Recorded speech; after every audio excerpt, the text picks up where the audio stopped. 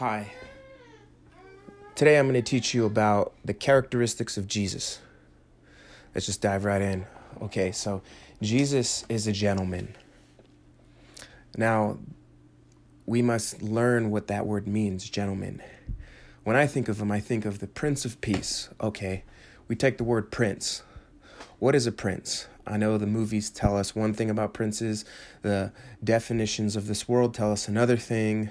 Every dictionary tells us a different thing about a prince. A prince is someone who is polite. A prince is someone who is well spoken. A prince is also gentle, gentle man. You know, a prince is also someone who's inheriting their father's kingdom. So when I think of prince, I think of um, an heir to the throne, uh, a son of the king. I think of like uh, medieval terms, um, where we have the king and then we have his predecessor when he dies as his son. And so that's when I think of Prince. I think of someone who's gentle, who's kind, who's loving, um, the nine fruits of the Spirit.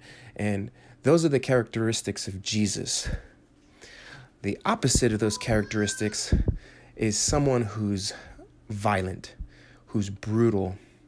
Um, they're actually not soft spoken or meek. They're actually prideful. They're arrogant and loud and boastful. And that's how we can kind of discern the things of this world. Uh, people I've met were at my job and obviously throughout life, and I've been one myself.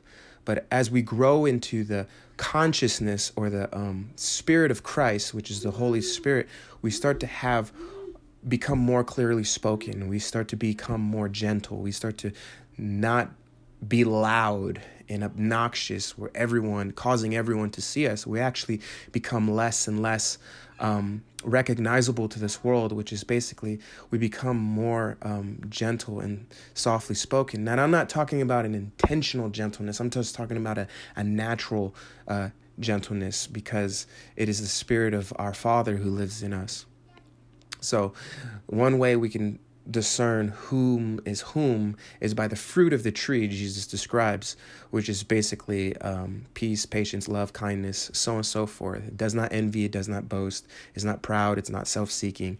The, the opposite of that is basically like a caveman.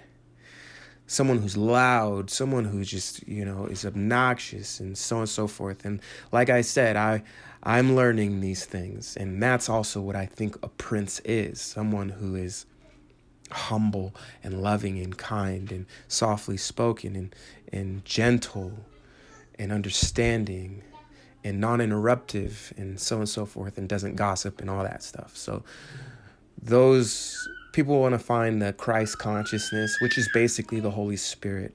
Um, it's a gentleman and it's a prince and he's an heir to his throne. And, and if we are to inherit the throne, the kingdom of God, um, we will be moving in the same likeness of that prince quality or princess quality. Because I've met a lot of women who are very brutal and nasty and just or lustful or um, promiscuous, and that is not of Christ for the women and and for the men. That is those aren't of Christ qualities. Those are worldly qualities. So I thank you for watching and stay tuned for our next next teaching. God bless.